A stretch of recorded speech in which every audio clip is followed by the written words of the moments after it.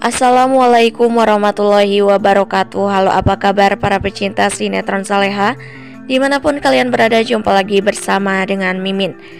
Ya seperti biasa Mimin akan membagikan informasi terbaru mengenai alur dari cerita Sinetron Saleha yang tentunya semakin hari Semakin seru, semakin gregetan dan membuat kita semua penasaran di video kali ini, Mimin akan memprediksi kemungkinan besar yang akan terjadi di sinetron Saleha untuk episode yang akan datang.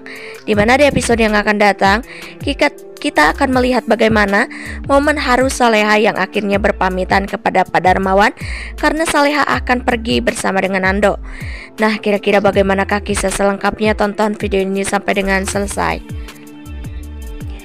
Ya seperti yang telah kita ketahui bahwa di episode sebelumnya kita semua telah sama-sama menyaksikan bagaimana Nando yang akhirnya meminta izin kepada Bu Heni untuk pindah dari rumah pada Paramat karena Nando mau tinggal bersama dengan Saleha.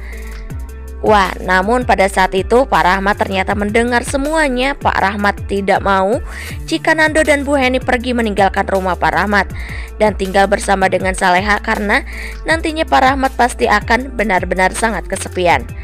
Pak Rahmat merasa bahwa setelah sekian lama dirinya yakin dipersatukan kembali dengan keluarga lamanya sehingga Pak Rahmat akan melakukan apa pun untuk mempertahankan mereka agar mereka tetap tinggal di rumah Pak Rahmat.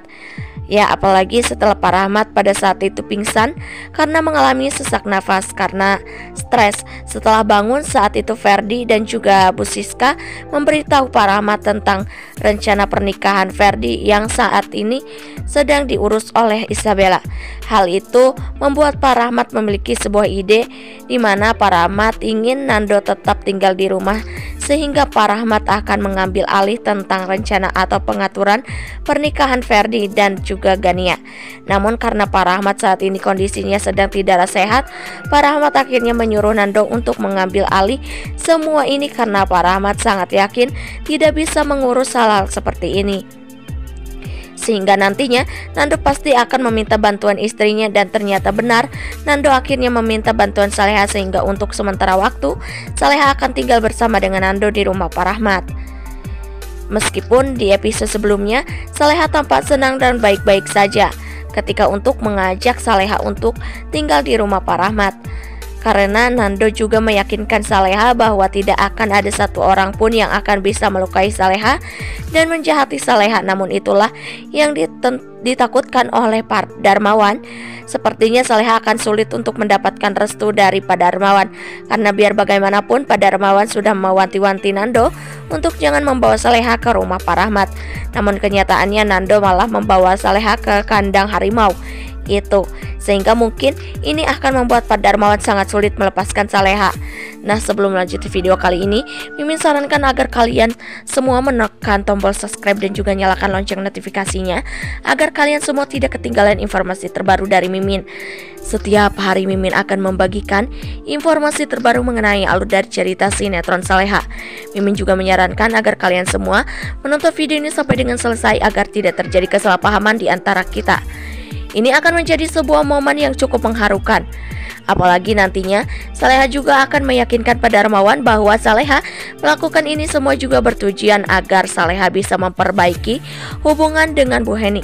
Setelah menimbang-nimbang pada Darmawan pun akhirnya tidak bisa menahan-nahan Saleha karena Saleha ketika sudah memiliki keinginan pasti Saleha tidak bisa dilarang atau dicegah lagi ya.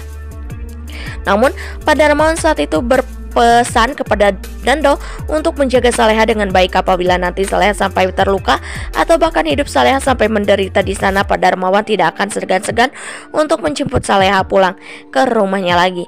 Lalu kemudian adegan pun berga akhir. Akhirnya momen perpisahan itu pun menjadi terjadi di mana Saleha saat itu memeluk Pak Darmawan. Saleha benar-benar sangat berterima kasih atas keputusan yang Saleha telah Pak Darmawan lakukan. Nando mengatakan kepada Pak Darmawan bahwa setelah pernikahan Perdi selesai, Nando akan langsung membawa Saleha pergi dari rumah Pak Rahmat dan Nando akan mulai kehidupan barunya bersama dengan Saleha. Dan meskipun rumah yang Nando baru beli nantinya tidak besar dan juga mewah, namun Nando akan memastikan bahwa rumah itu nyaman untuk ditempati oleh Saleha dan juga dirinya. Pak Darmawan pun mempercayakan semuanya kepada Nando dan kali ini Pak Darmawan memberikan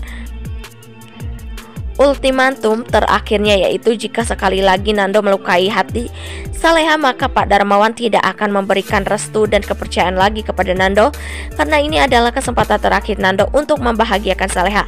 Wah wah wah makin rumit ya. Sebenarnya dari kemarin Mimin juga sudah berpikir bahwa tidak mungkin Nando dan juga Saleha pergi dari rumah Pak Rahmat. Karena biar bagaimanapun Pak Rahmat pasti akan melakukan berbagai macam cara untuk membuat mereka tinggal di sana. Semua itu membuat alur cerita terkesan membosankan namun ada hal yang lebih membosankan dari alur cerita yang saat ini sedang terjadi yaitu iklan yang terus-menerus hadir di saat sinetron Saleha sedang berlangsung. Mimin rasa dalam 5 menit sinetron Saleha tayang itu ada 2 sampai 3 iklan. Jadi banyak penonton itu hanya menonton iklan dan Selingannya adalah sinetron Soleha ya. Semoga hal ini bisa diperbaiki lagi oleh pihak penayangnya agar menyajikan sinetron yang lebih bermutu, lebih bagus dan juga lebih menghibur untuk para pecinta sinetron SCTV. Nah, ini adalah prediksi dari Mimin. Lalu bagaimana dengan prediksi kalian semua? Tuliskan pendapat kalian semua di dalam kolom komentar ya. Di sini juga membagikan informasi terbaru mengenai alur dari cerita sinetron Saleha. Terima kasih banyak untuk kalian semua yang telah menonton video ini sampai dengan selesai. Ambil sisi positifnya dan tinggalkan sisi negatifnya karena cerita ini hanyalah 50 belaka. Bila ada kesalahan Mimin mohon maaf, Mimin pamit undur diri. Terima kasih. Wassalamualaikum warahmatullahi wabarakatuh.